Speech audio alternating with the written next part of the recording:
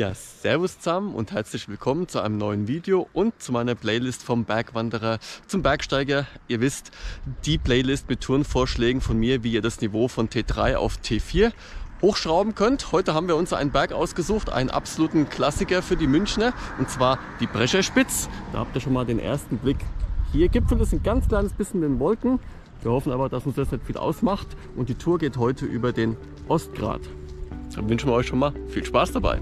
Also was Höhenmeter und Kilometer angeht, ist die Tour tatsächlich relativ zahm verglichen mit der Eipelspitz. Eher so im Niveau wie Leonhardstein. Aber es gibt zwei Gründe für die Auswahl. Erstens, die Tour ist komplett unmarkiert und nicht ausgeschildert, also eigentlich mehr oder weniger Offroad, was ihr aber gleich sehen werdet. Wegfindung trotzdem nicht wirklich schwer. Franz und ich sind die schon ein paar Mal gegangen. Er wird es bestätigen, das ist total easy zu finden. Zweite Sache, die eher ein Hauptgrund ist, es hat ein oder zwei Kletterstellen, glaube ich, ich glaube maximal zwei sind Aber die eine erste Kletterstelle ist tatsächlich ein bisschen luftig. Die ist nicht schwer, das ist unterer erster Schwierigkeitsgrad, aber ein bisschen ausgesetzt. Das heißt, ihr könnt hier zum ersten Mal auschecken, ob ihr mit der Schwindelfreiheit, ob ihr mit dem Thema beim Klettern ein Problem habt oder nicht. Und wenn ihr bei der Stelle sofort merkt, dass das nicht geht, dann wisst ihr auch leider, dass es mit dem Hochgebirge nichts für euch ist. Also Freunde, Startpunkt für die Tour, Parkplatz Spitzingsattel, seht ihr hinter mir und direkt an dem Sattel geht ja im Prinzip hier der sogenannte Trautweinweg hoch zur oberen Firstalm und direkt an dem Anfang dieses Weges hier rechts findet ihr diesen kleinen Steig. Das ist der zum Brecherspitze Ostgrat. Den gehen wir jetzt auf.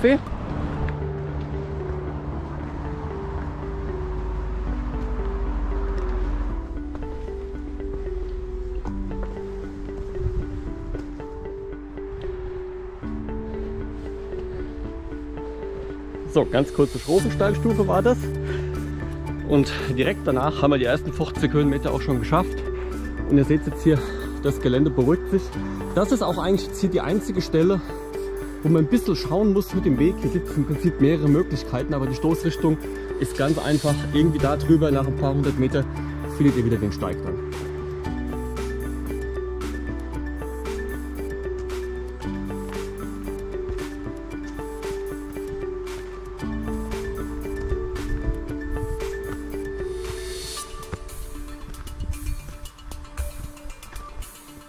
Ja, genau, schneller Rückblick. Das war diese Stelle, wo es mehrere Möglichkeiten im Weg äh, äh gab.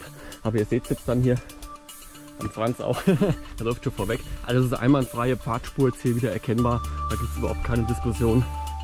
Also entgegen einiger Beschreibungen im Netz, die vielleicht sagen, dass die Wegfindung hier am Anfang, weil Offroad-Tour ein bisschen schwierig wäre. Nee, stimmt nicht. Das ist eigentlich, wenn man nicht total blind ist, ist das absolut easy hier.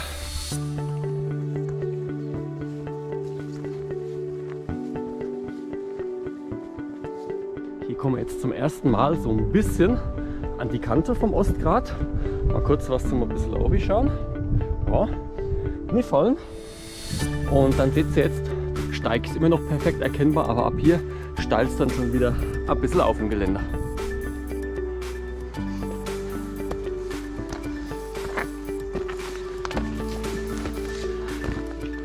Ja, das Video kann es glaube ich gar nicht so rüberbringen, aber das ist schon ordentlich steil hier. Ist also schon ein bisschen was für die Trittsicherheit und zum Aufpassen. Gerade auch wie heute, also alles ein bisschen feucht und barzig noch. Ja, gibt es einfach Obacht. So und so langsam, aber sicher, seht ihr auch da oben, nähern wir uns jetzt den Felsen und der ersten Kletterstelle. So, halbe Stunde Gehzeit, 250 Höhenmeter und wir sind angekommen an der ersten Kletterstelle. Ich nenne es jetzt auch mal an der Schlüsselstelle. Die ist dann hier vorne. Das ist ein ach, vielleicht 5 Meter Wandel mit super, super guten Tritten und Griffen im ersten Schwierigkeitsgrad. Aber, wie schon bei der Einleitung erwähnt, ihr seht es ja, hier geht es zur Abwechslung mal tatsächlich ein bisschen runter. Auch da seht ihr direkt hinter der Stelle, hier geht senkrecht runter. Also wirklich was für die Schwindelfreiheit. Wenn ihr an der Stelle merkt, dass das nichts für euch ist, überhaupt kein Problem. Ihr könnt den kompletten Weg, den Steig hier ohne Probleme wieder umdrehen und rückwärts runterlaufen. Da gibt es überhaupt keine Probleme. So, ich steige dann mal ein und der Franz schaut mal, ob er es auf, äh, aufs Video kriegt. Das probieren wir. Also genau, ihr seht es ja hier noch super gute Tritte und Griffe und dann irgendwie jetzt hier halt über die Stelle drüber und wenn es geht, bitte nicht runterfallen.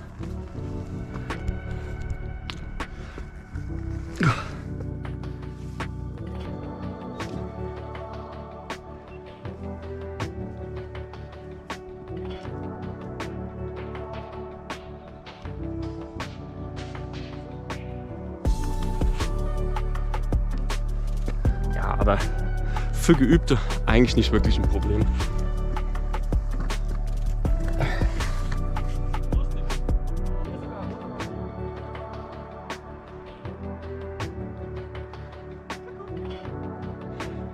So, und nach mir darf der Franz natürlich auch noch. Den Sekt jetzt hier mal kurz. Schöner Blick übrigens hinten am Spitzingsee.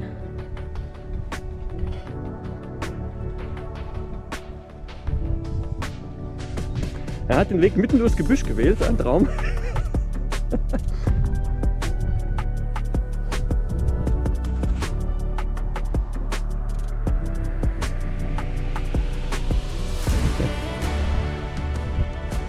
Ja, aber wie gesagt, ihr habt es jetzt gesehen an ihm und an mir. Das ist wirklich nicht ein Problem. Aber ihr seht hinten dran, es ist halt die Ausgesetztheit. Also es geht wirklich bis ganz da runter zum Weg. Wenn man hier stürzen würde, würde man bis da runterfallen. Das sind halt mal locker 50, 60 Meter oder sowas. Das tut mindestens mal ziemlich weh. Also hier einfach was für die Ausgesetztheit, mal als Training. Wenn ihr aber hier merkt, dass ihr damit einwandfrei zurechtkommt, ja, und nach der Schlüsselstelle jetzt geht es hier einfach wieder auf sehr gut erkennbarem Steig. Im Prinzip immer mehr oder weniger ein bisschen linksseitig dem Grat. Da drüben seht ihr auch, ich hoffe man kann es auch im Video erkennen, da spickt drüben der Taubenstein äh, ein bisschen aussehen. Ähm, verlinke ich euch mal oben, da habe ich jetzt auch ein Video gemacht, da gibt es auch eine schöne Klettertour. Die ist natürlich ein Zacken schärfer, die geht bis in den dritten Schwierigkeitsgrad, aber wenn es euch mal interessiert, wie sowas mit ein bisschen mehr Anspruch aussieht, schaut da mal rein. Ja, ein bisschen ganz leichte Schrofenkletterei hat es hier natürlich auch noch ständig, aber das ist im Verhältnis kaum der Rede wert. Das ist noch nicht mal so schwer wie am Leonhardstein.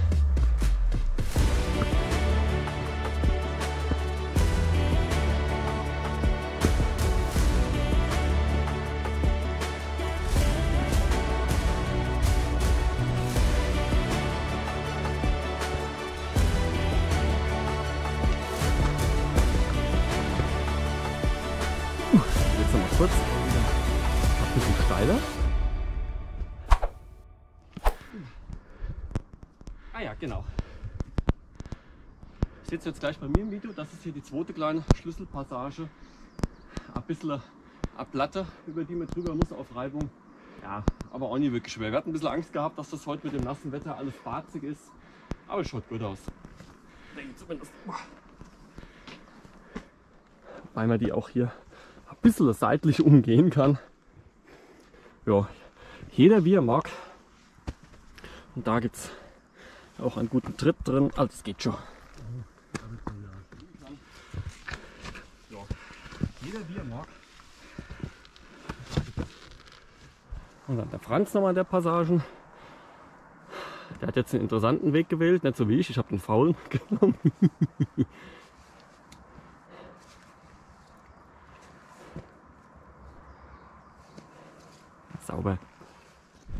So, und direkt nach der Platte geht es dann jetzt hier nochmal einmal nicht wirklich schwer, aber auch hier ein bisschen ausgesetzt über diese Schrofenpassage. Ah, Einfach ein bisschen Obacht geben.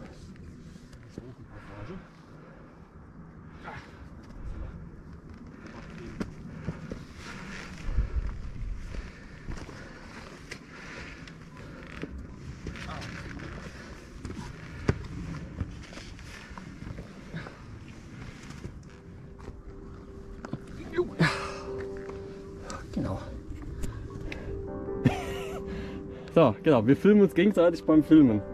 Ein Traum. Warte mal, ich gebe noch mal ein Stück Ferie, dann können wir die filmen. Ja. Große Stufen sind das hier. So.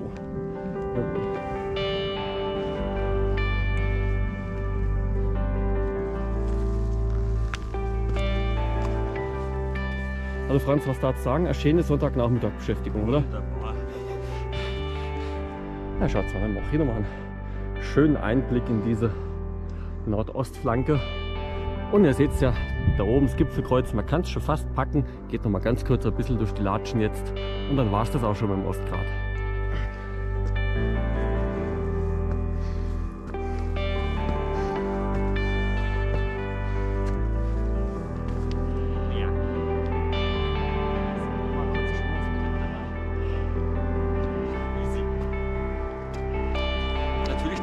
Der kurze kleine Hinweis an der Stelle, ist jetzt nicht unbedingt eine Tour nur für Einsteiger. Ihr könnt natürlich auch als erfahrene Bergsteiger die Tour machen, wenn ihr mal was Kurzes für Nachmittag oder für Feierabend wollt.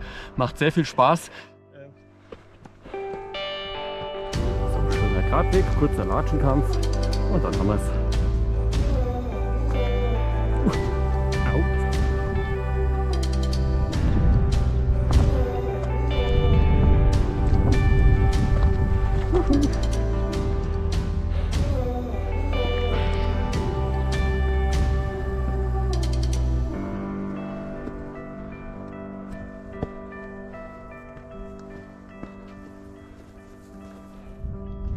Hier hinter dem Franz seht ihr auch nochmal ein bisschen Rückblick vom ganzen Grat bis da runter. Da seht ihr vielleicht diese kleinen Felszacken, da war die Schlüsselstelle, die erste.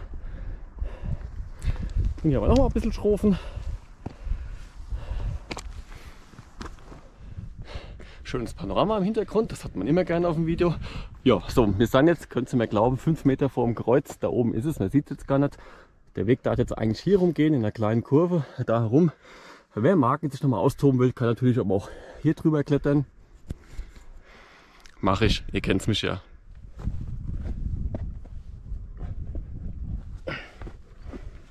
Ja, aber das ist hier auch nur maximal oberer Einser.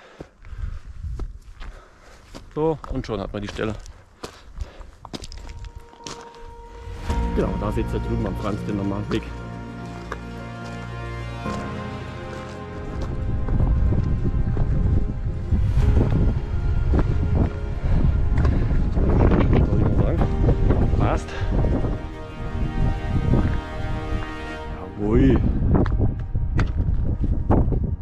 Also Freunde, Gipfelkreuz, Brecherspitz haben wir geschafft. Das war er, der kurze, knackige Ostgrat. Eine Stunde und ein paar zerquetschte Minuten haben wir laut Tracking jetzt vom Parkplatz hier hoch gebraucht. Also ihr seht, das ist nicht wirklich eine extrem umfangreiche Tour. Hat halt diese paar kurzen kleinen Kraxelstellen, die eine ausgesetzte. Wie gesagt, für alle, die mal das mit der Schwindelfreiheit in so einer Kletterstelle austesten wollen, meiner Meinung nach perfekt geeignet. So, in der Hoffnung, dass der Wind mal eine Minute Ruhe gibt jetzt, ne, zeige ich euch mal noch mal kurz ein bisschen was jetzt hier auch vom Panorama. Ihr seht da zum Beispiel zum einen hier ein wunderschöner Blick runter Richtung Schliersee und da drüben zum Tegernsee. So, in der Theorie, ich hoffe, ihr könnt es erkennen, da hinten, da ist so ein kleiner Zacken, das sind Ross und Buchstein. Hier drüben haben wir den Blankenstein. Ähm, beide Videos verlinke ich auch mal kurz, da habe ich auch schon Touren gemacht. So, dann geht es hier weiter. Sehr schön sieht man auch die beiden Schilder. Sonnenwendjoch jetzt da drüben verbirgt sich leider etwas in den Wolken. Aber auf der anderen Seite haben wir noch einen schönen Blick rüber Richtung Eipelspitz, Taubstein, Ruchenköpfe, Rotwand. Ja, und natürlich den Voralpenklassiker Wendelstein.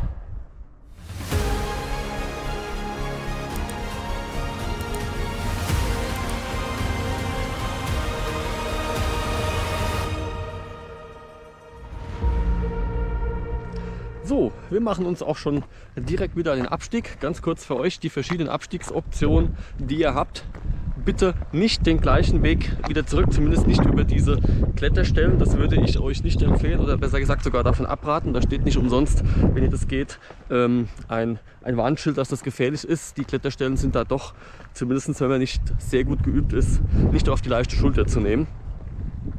Ja, aber Abstiegsoptionen gibt es ansonsten trotzdem genug. Ihr könnt entweder von der Brecherspitze aus den ähm, Nordgrat müsste das sein. Also es ist kein Grat, das ist wirklich ein reiner Wanderweg. Da ist keine Kletterstelle, nichts Drahtseilversichertes äh, runter nach Neuhaus.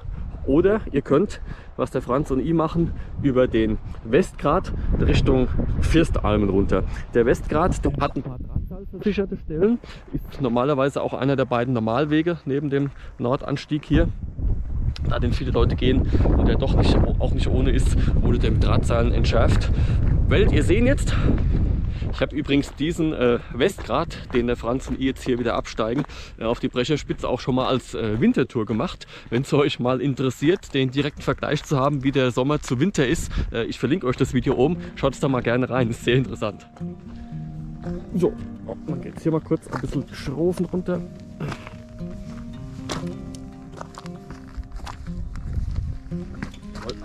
Schaut das von unten aus. Genau, wenn der Franz pfeifen kann beim Gehen, dann kann es nicht so schwer sein.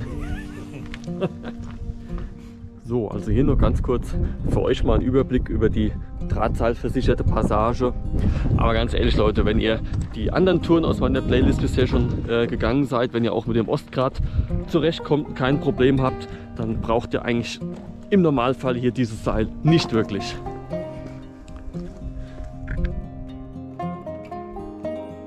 Glaube, der Franz bestimmt auch der Meinung.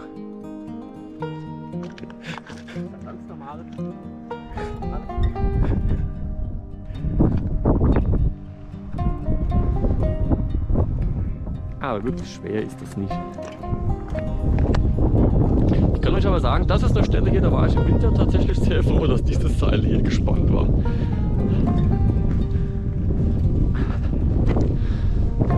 genau, jetzt geht's hier um den Block rum. Und dann einfach ganz locker weiter dem Grat folgen. Rückblick auf die versicherte Westgrat-Passage. Ja, also hier ist nochmal ein kurzes Stück, das ist vielleicht ein bisschen ausgesetzt. Aber auch nicht wirklich ein Problem, das war's.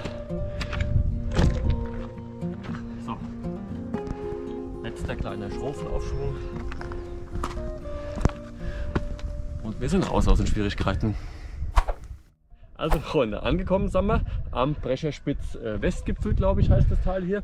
Reine Gehzeit sagt das Tracking, 1 Stunde 20 haben wir jetzt gebraucht. Ja, also viel weiter filmen werden wir jetzt, glaube ich, hier an der Stelle nicht, weil wir hatschen jetzt einfach noch da runter zu den Firstalmen und dann zurück zum Parkplatz. Ja, was gibt es zur Tour zu sagen? Eigentlich nicht so viel. Ihr habt alle Stellen gesehen. Meiner Meinung nach auch eine wunderschöne Einsteigertour aufgrund dieser einen etwas ausgesetzten Stelle. Da könnt ihr das Thema mit der Schwindelfreiheit mal ein bisschen auschecken, ob das für euch was ist oder nicht.